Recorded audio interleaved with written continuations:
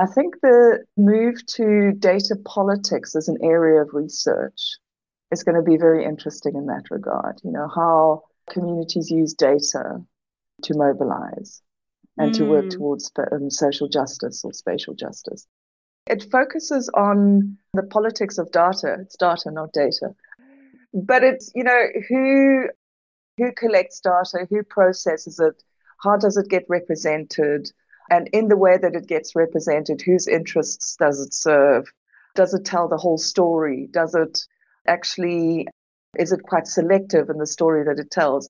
Hi, Smart Community friends. In this episode of the Smart Community Podcast, I have a brilliant conversation with Nancy Odendaal, who you may remember from way back in episode three, back when we were called the Smart City Podcast. Nancy is a professor of city and regional planning at the University of Cape Town and has been in this smart city space for decades. In this episode, Nancy and I discuss what smart community means to her and her research in Cape Town during the pandemic. We talk about data politics and how they relate to the city, city systems, and infrastructure management. Nancy then tells us about her book, Disrupted Urbanism Situated Smartness Initiatives in African Cities, why she wrote it, and some of the lessons from it as well.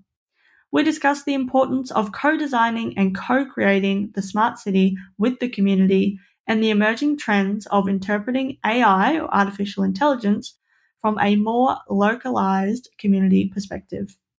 We finish our chat discussing the move towards a hybrid of old fashioned offline community approaches combined with technological solutions as the next step in smart communities.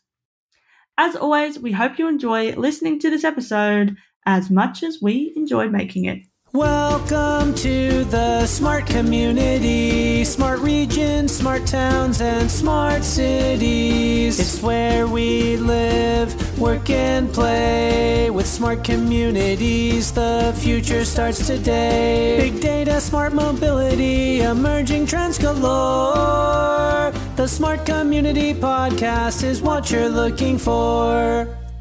Hello, Nancy. How are you today? Hey, Zoe. Hello. I'm very well, thank you. It's still early in Cape Town. I'm having my coffee while I'm talking to you. Well, thank you so much for getting up early for us. Um, I am very excited to have you on the podcast. You have been on before. You were actually episode number three. Can you believe it? Um, wow. Because we are up to now, I have to test my knowledge. The last episode that came out was 345. Oh, that's fantastic. Congratulations, you. That's Thank wonderful. You. Yeah, it's been a time. So, your episode was released uh, in 2018, which feels like a lifetime ago. Um, it really does. it and really then does. we hung then we hung out in person in 2019 before we the did. pandemic, Cape Town. I exposed was, you to my cooking and you survived. it was so good. What a what a dream that was. Anyway, okay, enough about me. Let's jump into this. Okay, so mm. welcome back to the podcast. So, for those who don't know you, can you tell us about your background and what you're passionate about? Yes, absolutely. Thank you. So, I am a professor of city and regional planning at the University of Cape Town. So, I trained as a planner and I became interested in technology and planning before I became a planner, actually. I worked as a sort of technical planner and worked in GIS mostly and CAD. Um, so I guess I was always quite fascinated by the technological innovations that underpinned planning practice. And then when I became an academic, I sort of realized that this was in 2001. I realized that the whole digital city, what it was then called, or smart city in some cases, was becoming quite a big debate. So I decided to kind of go down that road. So, yes, I'm passionate about cities. I love walking cities. I love studying cities. I love um, getting under the skin of cities. And I love the way that information technology tools and or just smart platforms have enabled us to see different dimensions of the city emerge. So yeah, and um, yeah, and I live in Cape Town, and I'm an ocean swimmer. That's awesome. And I remember in our conversation way back in 2018, you've been in this space for a long time, you know, before it was called Smart Cities, as you said. So, yeah, I'm keen to, I guess, explore a little bit about how it's changed. But we'll start with firstly, well, we talk about smart communities on the Smart Community podcast. Mm. Actually, when you were on the podcast last, it was called the Smart City podcast. So there's was, yeah. already been an, an evolution. But tell us broadly what a smart community means to you. To me, a smart community is is obviously a connected community. It's a community that uh, contains members that are in touch with each other on an ongoing basis, and it's often to do with a number of, of issues. It can be issue based. It can be simply because of geography, you know, people living in one street and kind of looking out for each other. But I think what technology has done, what smart technologies have done, has enabled us to to expand the geographic reach of community to span, you know, to span geographies and space. So what I found, I did some research on smart communities, I guess you would call them, during the pandemic, when neighborhoods in Cape Town got together and essentially started mobilizing to harness resources and and to also look after each other. So to me, it's very much, yeah, smart communities aren't just dependent on technology or smart technologies, they're often hybrids. You know, it's often a mix of communication tools and social connections and livelihood strategies. And it's quite a mixed bag and it differs from place to place. So I think the whole notion of smart community is is a very interesting one. I think it's often very much informed by place and as a city planner, I find that very interesting. I really like that. I think the connected piece is really important, but not just the digital connection as you mm. spoke about, but that, you know, we're connected in a human, you know, social way. And I think the pandemic did really like bring out those factors of looking after each other. And, yeah. uh, you know, I, and I still think some of those you know, we're still discovering some of those things that happened during the pandemic that we just kind of I think we know, are. Did, right? I think yeah. we are. Yeah. Mm. Yeah. I think we really are. I think we we're still trying to come to grips with it. And I think we're also just all sort of suffering from post traumatic stress disorder. I think we're still trying to kind of figure it out for ourselves, you know. Um, mm. And uh, what definitely emerged for me in the work that I did was the importance of social networks or social capital, where, you know, I mean, we were forced to rely on, in this case, WhatsApp groups and, you know, sort of quite basic tools actually that enables people to get enrolled into these initiatives quite easily. But at the end of the day, it really did come back to kind of face-to-face relationships that formed the kind of the crux, you know. I mean, not to say that things like digital communities do not exist. They do, I mean, you know, social media is, is testimony to that. But I'm more interested in how people galvanize in conditions of uncertainty and scarcity. And I don't think that's just, you know, that's just relevant to Cape Town. I think what the pandemic, or to South Africa, or indeed the global South, I think the pandemic revealed that there are margins everywhere. And uh, yeah, so no, it's been quite interesting work, and I think it is work that's evolving still. And I think the the move to data politics as an area of research is going to be very interesting in that regard. You know how how communities use data to mobilize and mm. to work mm. towards um, social justice or spatial justice. And to me, that's been one of the biggest shifts in the last couple of years is the emphasis on data. And obviously, the whole open data movement is is interesting in that regard. Yeah. Mm. So, say more about data politics.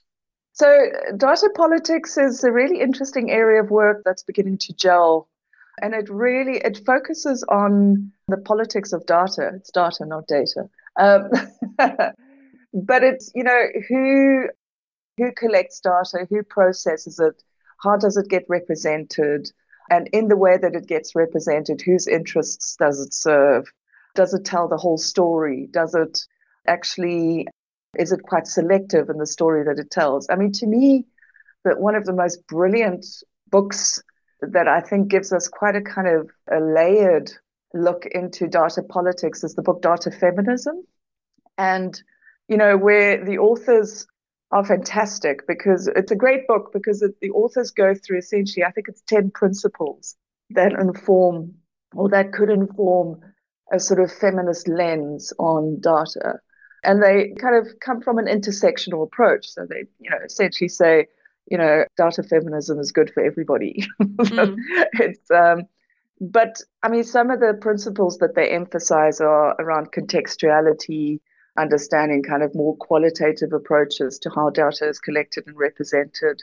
So there's, I guess, the activist kind of space, but there's also the kind of institutional space where data can be used to reinforce a particular political stand.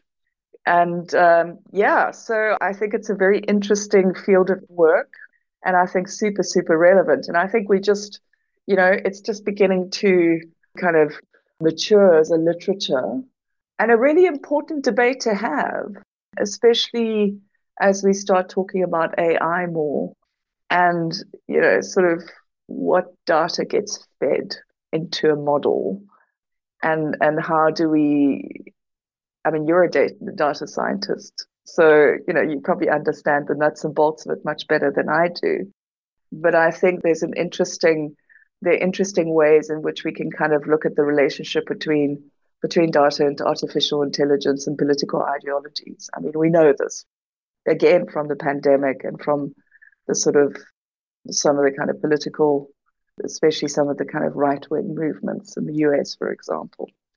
Oh, so I think yeah. yeah.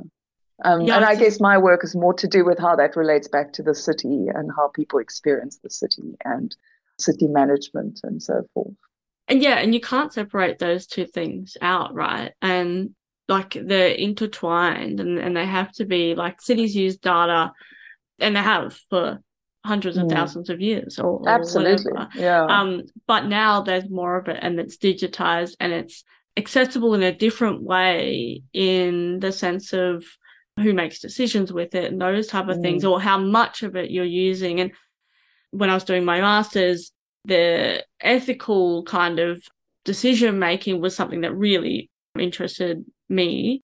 And mm. even when I did my Churchill Fellowship, and I don't know whether we talked about this, I, we, I'm sure we did. Mm. One of my biggest like takeaways, which was, you know, not intended, was that me being a woman traveling alone affected my ability to research mobility because, you know, yeah, was, yeah, you know, yeah. and and things like that and obviously that's not just about data, but it's about the experience of women and marginalized people and, and how that mm. then that intersectionality then kind of kind of compounds of the different groups and how that they experience you know mobility mm. and things like that but yeah what data how data actually feeds into that as well and one of the things uh, mm. in my masters i realized was even if you don't you know some things are quite obvious well they're obvious now i suppose but like you know if you feed mm. in resumes of 100 successful applicants of the last mm. 10 years in the tech industry, for example, most of them will be male. Therefore, you know, you're preferencing a model. You know, if you feed that yes. into a model, you're preferencing yes. model. Yeah. Again, yeah. obvious in inverted commas because, you know, we know that it's happened. But things like even just the decisions I had to make um, when I was doing statistical analysis, which had nothing to do with who the data was about or whatever, but the decisions I mm. made based on what model I decided to use, what factors I decided to use, because exactly. I would see the answer, right? And I would go, oh, well, that might slightly lean towards my bias. Or I don't want it to, I don't want to seem biased. So I'm going to go the complete opposite way. Mm, I just, mm. I was mm. doing a, a project, uh, like a, you know, in my master's about, I can't remember exactly, but it was around weight and height and like growth of uh, girls mm. based on like a whole range of factors or something in a country. Uh, again, probably simulated data. But yeah, you then chose what, oh, well, you know, I want to show that there's a problem so mm. I want, you know, mm. or whatever the case is. So yeah, it, it does bias it. Yeah, yeah, yeah. Um, um, I was at the the Science and Technology Studies big conference 4S in Mexico last year, and there was there were at least, I mean, I I must have gone to about you know five sessions that looked at data politics. In some, you know, maybe it didn't call it that, but I mean, I do believe that it's you know, it also relates to infrastructure management and the city systems. And it's completely, you know, how do you bias? Is, are there certain neighborhoods that are, are, are kind of favored because of the way that, that, that systems are set up and data collection is set up? And, you know, or, and, and or more reg- or more enforced, you know, certain things yeah, are more enforced yeah, yeah, in certain areas. Exactly. Yeah. Yeah, absolutely. And like, you know, if depending on how what it is that you're looking at but like you might install more technology mm. in a certain area to service it better yeah. or you might install you know to then have more enforcement mm. or whatever the case is or you yeah. go oh make yeah. sure you collect data on this and mm. you know those mm. decisions might not be even conscious but no, they might even not come from, no they might not even come from the top right they might just be oh mm, well mm. John on the ground works near this space, so he collects data, you know, mm. whatever it is. You know, there's so mm. many different mm.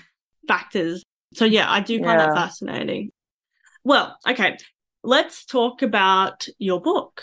Tell us. Oh, thank you about it because I'm excited and I'm excited to read it. So yeah, tell mm. us. Thank you. Tell us about it. So this was a pandemic project. Actually, I worked on the proposal during the hard lockdown. I was ensconced in a in a rather nice apartment in Johannesburg with my then partner, and I thought, well, this is my moment to work on it. And I, and I was also on sabbatical, um, which was nice. So the book is essentially a consolidation of a lot of work that I've been doing over the last, I, I guess, five to eight years, and it's called Disrupted Urbanism: Situated Smart Initiatives in African Cities. And essentially, what I do is I look at I look at digital platforms and how they're used as a resource, but also how they are created in several African cities. And the premise of the book is essentially the question you know, if smart cities are so great, and if they, you know, they touted as being the solution for just about everything, what do they promise and do they deliver on their promises? And the first chapter, the first two chapters pretty much say they don't really. And then I sort of ask the question, well, how what's the real smart city? What does the real smart city look like in africa? I mean i can't generalize too much. It's a big continent but i sort of went to quite a lot of it.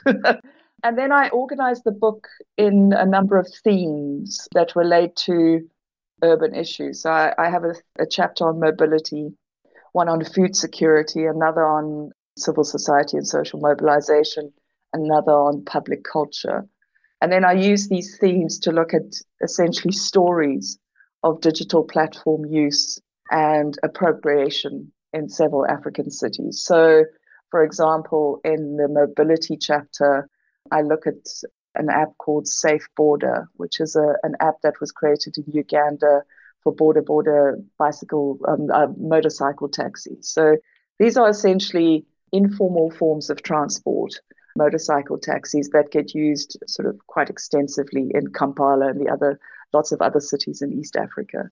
In um, the food security chapter, I mean, I look at a couple of other vignettes as well. Food security chapter, I look at a an app that connects um, small scale farmers with informal traders uh, or vendors, you might call them, in Nairobi. So that's a Kenyan example. Look at other couple of examples as well, including the use of drones to look at climate change and the impact on food security in Zanzibar. And then uh, the social mobilization chapter, I used quite a lot of South African case studies. And the one that I focus quite heavily on is the um, Community Action Network movement during the pandemic in Cape Town, where which was what I've described before.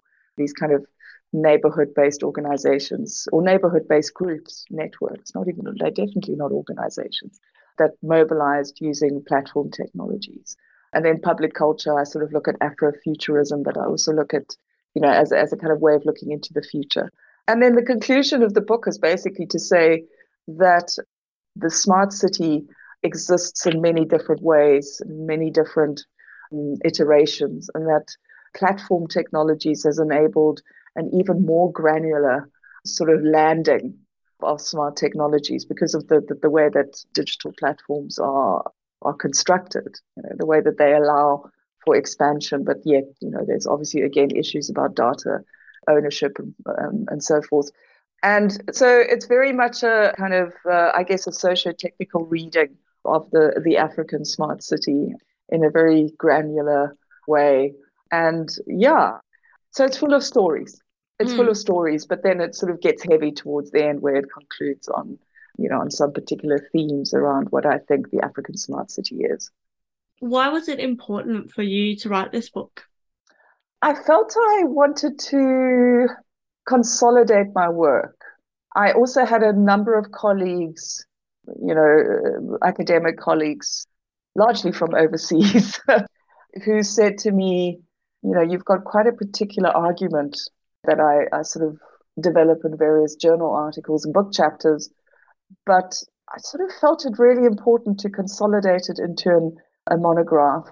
And I also felt that the book format allowed me to sort of play a bit, you know, to use mm. some of these examples to think about some ideas and, you know, sort of like the last, the, the public culture chapter, you know, sort of play with the idea of Afrofuturism, you know, what could that mean? What does that tell us about the, the imagination around technologies and cities? So it allows a little bit of more space to play with ideas, but it was also a big consolidation exercise and also just enjoy writing there's something really satisfying about putting a book together. It's a very, it's quite a private space if you do it on your own, and it's quite a intellectually very, very satisfying. Yeah, cool. So uh, I guess what I'm keen to understand, I mean, I love stories because it makes it real. And I think we need more stories in these, you know, books because it's all well and good to be very theoretical, but people, well, mm. we want to know where people, and again, it's like you won't necessarily find a story that proves every single point or whatever, but it's Absolutely. those little iterations. And mm. I think that's really important. And I'm also like the smart city that's failed. What what and the smart city that we want to succeed what are the features that are different in the like failed version versus the yeah.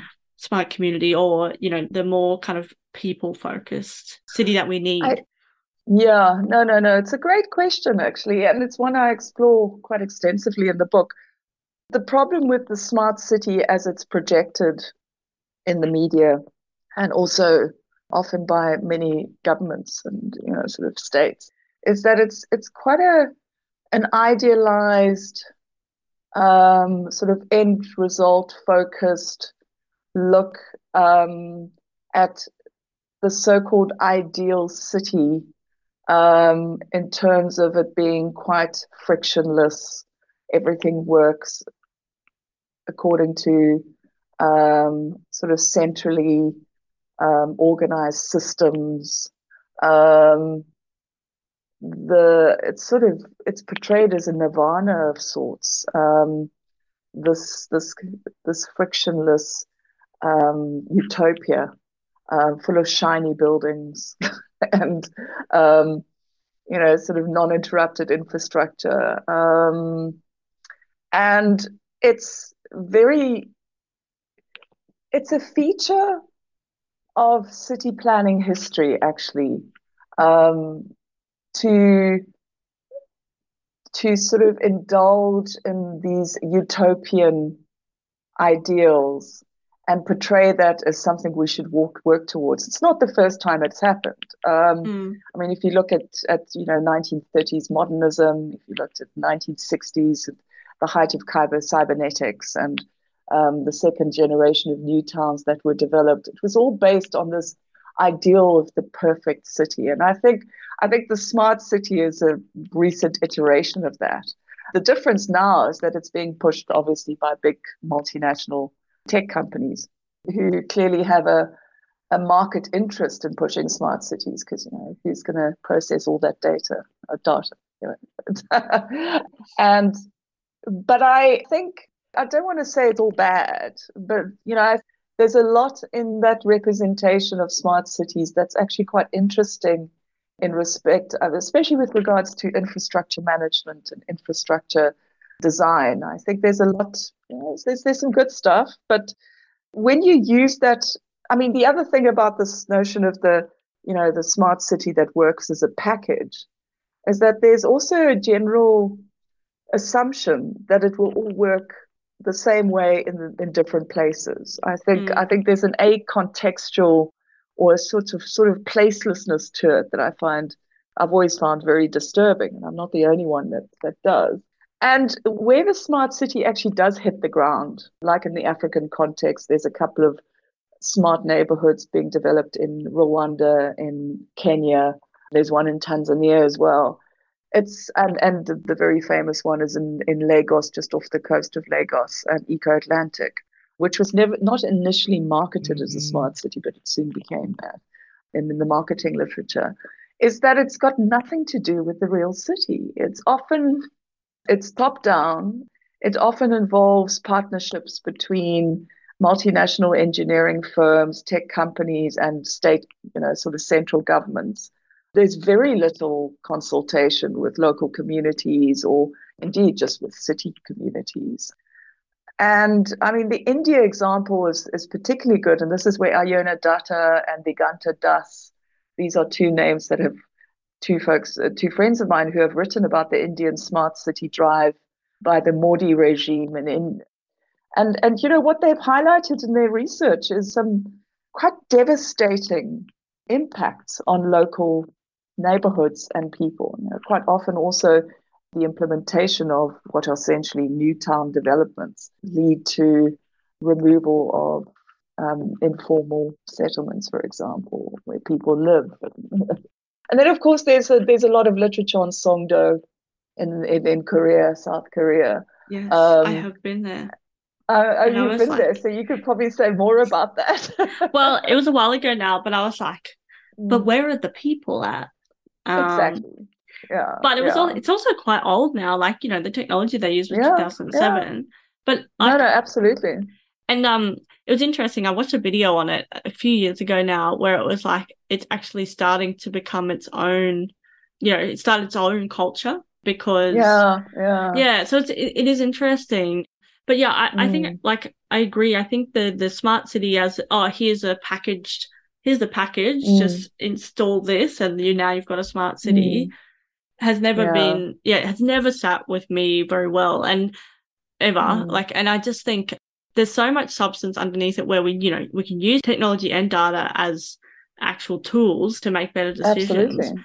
But yeah, if you don't include the people, like co-design is just so, you know, whatever word you want to use, but like that consultation mm. with the community mm. is so important.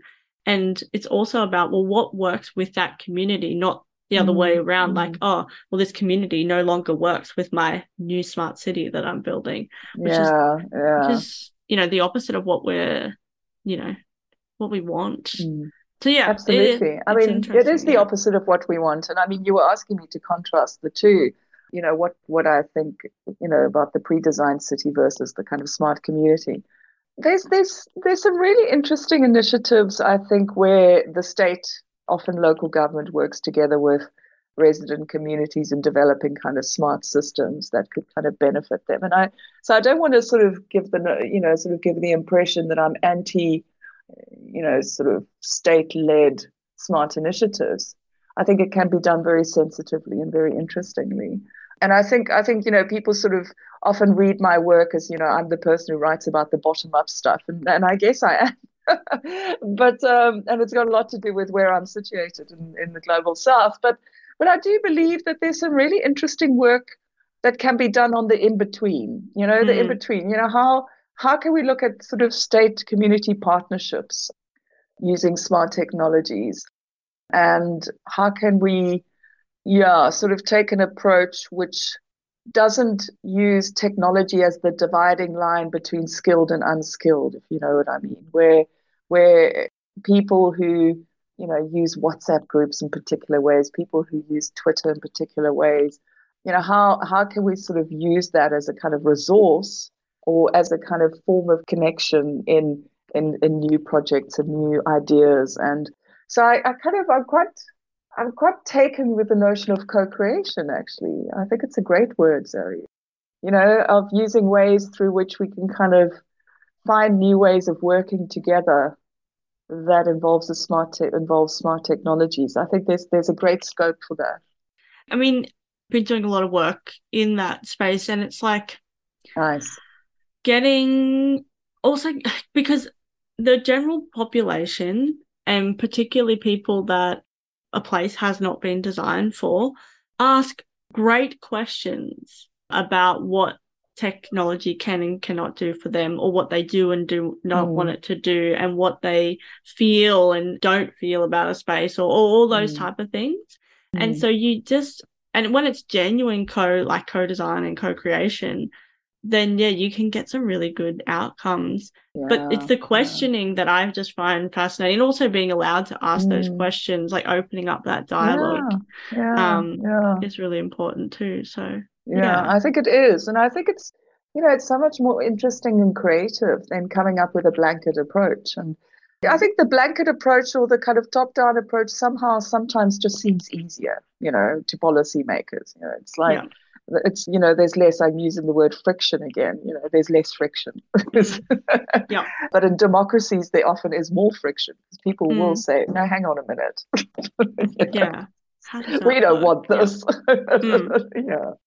Well i'm just looking at the time. It's we could talk for hours i think but I, oh, I do want I, do oh want to how did that happen? I oh. know. I do want to zoom to the future and I want to talk about where to next. So sure. are you happy to zoom to the future and talk about Absolutely. some of the emerging emerging trends that people aren't talking about enough? I think there's a there's quite a hoo, lot of hoo-ha about AI and and I must say I'm a little bit behind on my reading on on artificial intelligence. And and obviously, as an academic, you know, there's a big debate currently about ChatGPT and about the impact on, you know, journal board meetings. We're having those conversations as well. I'm quite excited about maybe looking into how AI, you know, again, how do we interpret AI from a kind of more localized community perspective? And, you know, how does AI sort of compare to kind of more sort of contextualized collective intelligences, you know, from, from some that come through problem solving, etc. So so that's definitely one thing that I'd like to kind of start sort of thinking about in a more structured fashion. And I do believe it's a trend. I think it's I think people out there are already doing some interesting work on it. The other thing is around is around data politics. You mentioned storytelling, so this is my big passion is around storytelling as a form of knowledge generation one of the one of the and in fact it comes up as quite a big theme in my book in the chapter on social mobilization. I re- i was looking at a, a social justice organization in cape town that advocates for inclusionary housing and i looked at their use of social media and i found that storytelling was quite a, a powerful framing device in terms of you know getting their their message out there. So I, I was also recently at a conference on post colonial infrastructures, and storytelling came up there as a device to understand how infrastructures work or do not work. So, so I, am sort of loving the notion. You know, I think that is kind of becoming more and more prominent, and and it's helped by the data feminism, you know, sort of more reflective approach to data that's emerging. I think those that's I definitely think that's important, and I think it's going to become even more interesting as time progresses. So I would say those are two areas. And then also just I think there's there's interesting work to be done just really, you know, around infrastructure. I mean, I, I, I teach a lot of infrastructure based stuff. In fact, it's my specialization in my teaching. So, you know, how how infrastructure and platform and digital technologies are becoming more and more intertwined. And I, I don't think it's necessarily a new research space, but I think it's it's one worth keeping an eye on in terms of practice and uh, yeah, so that that'll be fun. Yeah, but yeah. some good stuff coming out. I mean, there's some wonderful work in the smart space. It's so much more interesting than it was ten years ago, actually. Yeah, I agree, and I think yeah, more nuanced and interesting conversations you know starting to mm, happen and the research being done absolutely. i was just looking up data feminism mm. i've heard of it um now i've got to put it back on my reading list i feel like i'm i yeah Anyway, it's on you my probably list. come across it Zoe without yeah, it's it's Yeah. so it's it's downloadable. It's ah, yes. Sorry, I was just looking at the yeah. author's name and I recognize that name. Mm, yeah, Um, D'Ignazio and and D'Ignazio and and Yes. Klein. Yeah, Yeah. yeah.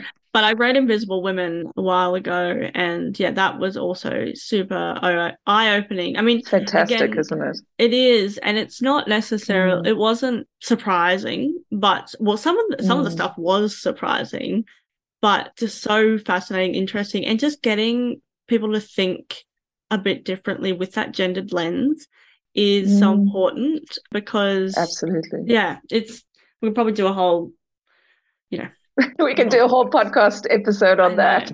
yes. But we do have to wrap up soon. So let's Yes. just quickly go to where to next for smart communities. I think the hybrid nature of smart communities is going to become more granular. Mm. I think the sort of offline stuff is going to continue, you know, the sort of old fashioned street committee work, social mobilization, etc. But I think that's going to become increasingly combined with sort of digital tools or platform tools or AI tools, in fact, that will become sort of more and more available in the public domain. So I think it's going to be a super interesting space, but I don't think it's going to be necessarily an expansion. I think it's going to be a, a sort of more, yeah, it's becoming going to become more and more finely grained Mm, and, like and perhaps even more effective. Yeah, deeper and and perhaps even more effective in relation to you know what communities may organize around. And it, it not necessarily Mm. hectic activism. You know, it can just be around sort of creating a community garden, which is a form of activism in a way. You know, but creating a community garden could become something interesting, for example. So Mm. Yeah. I, I think it's a very interesting area of work to think about more and to do some work in. Yeah, as you're talking there, I think um the accessibility of tools and data into the public Mm. realm has then enables that intertwining, right? Like before Mm. only, you know, I mean, it, we saw it happen with computers, telephones, you know, those Mm. type of things. And I think these next, this next iteration, if we work on it, is, you know, exactly Mm. what, what you said earlier around like that technology isn't the divider of like, you know, the Mm. haves and have nots. It's actually that Mm. integrator. And that happens when more like tools become more accessible, making them easier to use and those type of things. But the questioning then has to come in because you still want that level of rigor underneath of like, Yeah. you know, Yeah. making sure that people are protected, but then also that Mm. the the answers that we're getting are the best answers Mm. that we can get with all those, you know, the bias and all those type of things. So yeah. again, another thing, another thing we could Mm. definitely unpack in more detail yeah. as well. There's Mm. lots to talk about, Zoe. There is. we'll have to get you back on the podcast, Nancy. It's been so great to have you back on again. Yeah, no, thank you. I've loved the conversation. I've really enjoyed it. Thank you. Well, thanks so much for sharing your book with us as well. Mm. Please send me the link of where people can find it, and then we'll put that. Make sure that Yes, I will. Yeah, it's, it's it was published by Bristol University Press. I'll I'll send you the link that would be awesome. to, um, but just the, what- the page. yeah, and we can put the link in the show notes. Um, Mm. That'll yeah. be great. Thanks. I'd love that. Yeah. One last question: How can people connect with you? So I am available obviously on email nancy.odendaal at uct.ac.za. I'm on, uh, I'm not terribly good at using social media for professional purposes, but I am available on Instagram as Nomadic Nancy for obvious reasons. And I am on Facebook under my name. So I kind of use social media as a mix of um, personal and private and, and, and also professional. You know, it's sort of, I'm not terribly good on LinkedIn. So it's probably best to, fo- to find me on email. Our web address for the department is apg.uct.ac.za. So my profile, my research profile is on that. Excellent. We will put those links in the show notes as well, so people can click away Cool. and find you. A massive thanks Fantastic. again for coming on the podcast. Thank Um, you. I really enjoyed this Thank you. conversation, Lovely and to then see I you again. Can see all these other conversations that we need to have, spurting off Yeah. this one as well. Um, but Sounds yes, good. so great to see you again, and yeah, we'll Yeah, great to see you again.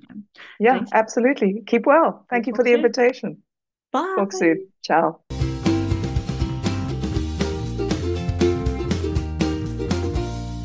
The Smart Community podcast is brought to you by My Smart Community. If you're trying to deal with disruption, not sure what technologies to buy, need to facilitate genuine collaboration, then we can help. Email hello at mysmart.community or head to www.mysmart.community forward slash consulting. Thanks so much for listening to the Smart Community Podcast. Show notes for this episode and all other episodes are available on our website, mysmart.community slash podcast. If you have any questions for us or any of our guests, you can email hello at mysmart.community. You can also find us on the socials. We are on LinkedIn and Twitter at SmartCommHQ. That's com with two M's. If you are enjoying the podcast, please hit subscribe so you never miss an episode. And we would love for you to leave us a rating and review at wherever you listen. This really helps us reach more ears and eyes, so thank you for your support. As always, we hope you enjoyed listening to this episode as much as we enjoyed making it.